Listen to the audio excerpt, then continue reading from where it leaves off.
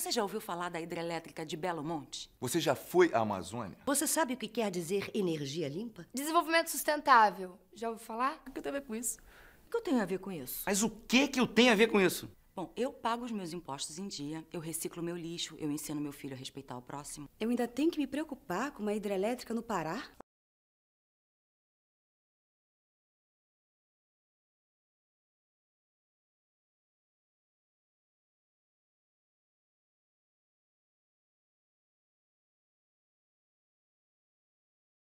Olha só, se não fizer a hidrelétrica de Belo Monte, não vai ter energia. Se não tiver energia, como é que eu vou ver televisão para assistir minha novela? Gente, não dá pra ficar sem luz. Eu sou a pessoa mais conectada. Deus me livre com essa energia. Sem luz, sem celular, sem iPad, sem iPhone, sem. Ai, tudo.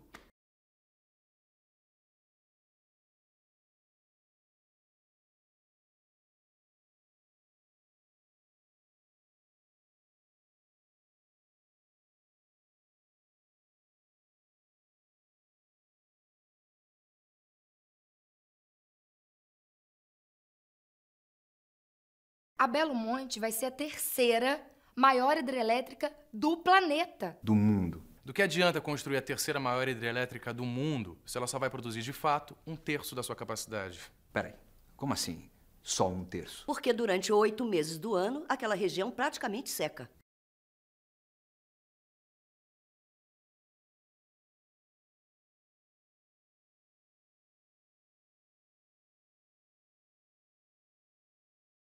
Eu não tô entendendo, gente. Eu vou ter que pesquisar então, né? Eu pesquisei, vai olhar. Pesquisei. E vai custar 30 bilhões. 30 quanto? 30 bilhões. 30 bilhões? 30. Bilhões?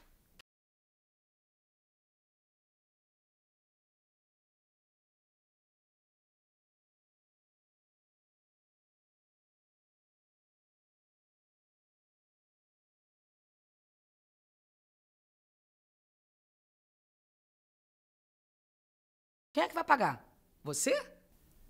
Você? Você. O palhaço aqui, né? 80% desse dinheiro é de imposto. Faz as contas. Realiza.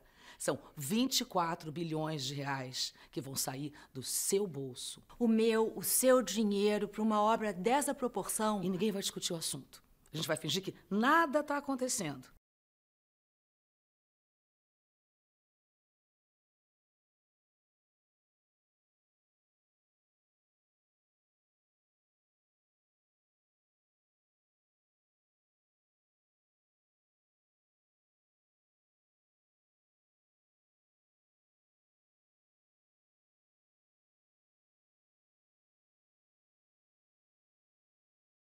De onde tiraram essa ideia de que hidrelétrica é energia limpa? Peraí, peraí, peraí.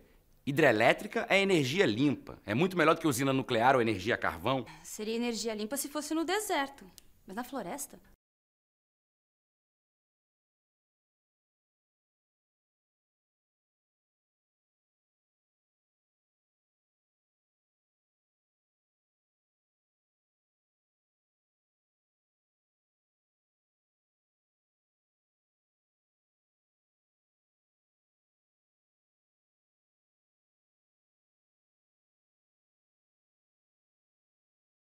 Uma pergunta. Como é que se resolve a questão energética do Brasil?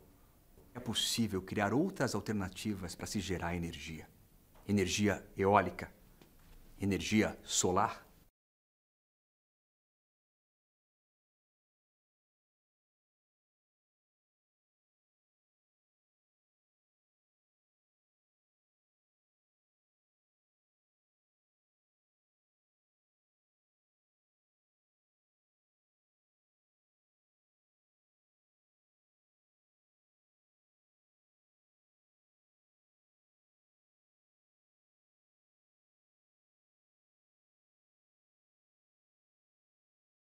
Esta é a primeira de dezenas de hidrelétricas que o governo pretende construir na Amazônia nos próximos 20 anos.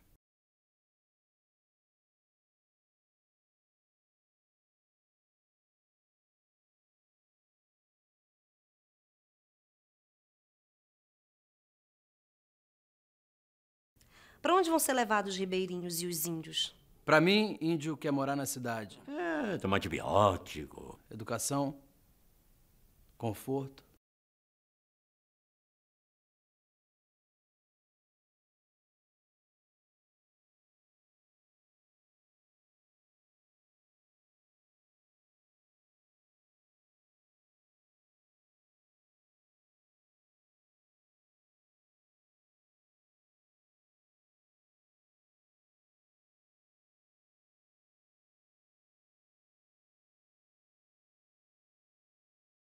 Índio. Você tem índio, ainda tem índio. Será que os índios são ouvidos?